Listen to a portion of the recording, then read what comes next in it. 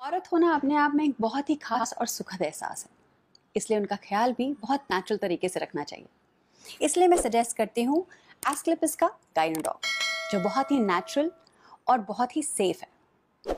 ये आपके स्वास्थ्य का ख्याल रखता है। इसमें है अशोक, सत्वर और अश्वगंधा। ये हर उस प्रॉब्लम को दूर करता है जो महावारी के वक्त आपको होती है। यहाँ तक कि हार्मोनल इम्बैलेंस को भी चेक में रखता है। इसलिए तो इतनी सारी मॉडर्न फैमिलीज़ ने इसको अपनाया है।